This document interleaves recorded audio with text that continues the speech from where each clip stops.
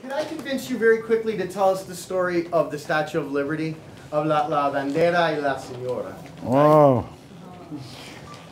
Actually, that picture is what got me started on this, the rest of what you see here.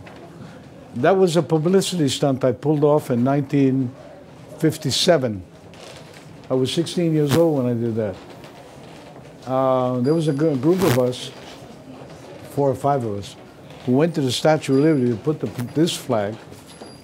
This flag has a number of variations. You know, the 26th of July had this this uh, one design. They had another design which is a circle, which is the one that's up there, and they had another one which the, the name crossed across. It was uh, a couple of different types of flags, and uh, the reason we did it it was in those years, 1957, there was a lot of things happening in Cuba, and the American press did not reflect anything of what was happening. So there was the idea floating around with the Cubans in New York, you know, to try to provoke the press. And I get this wacky idea of pulling off this publicity stunt, of placing the flag on the statue, taking pictures of it, and I gave it out to all the newspapers in New York and gave it out to all the wire services. And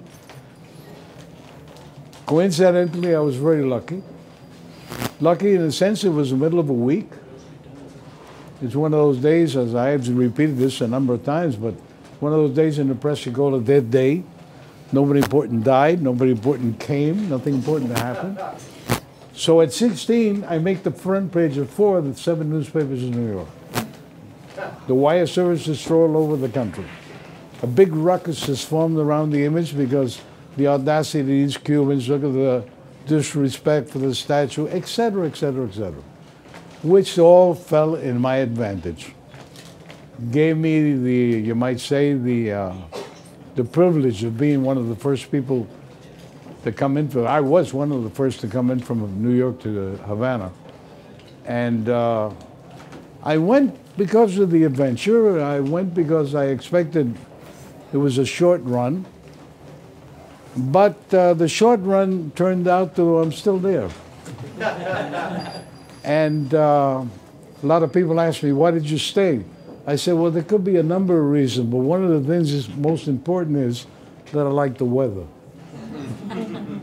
okay, that's about it. Uh, Roberto, thank you so much.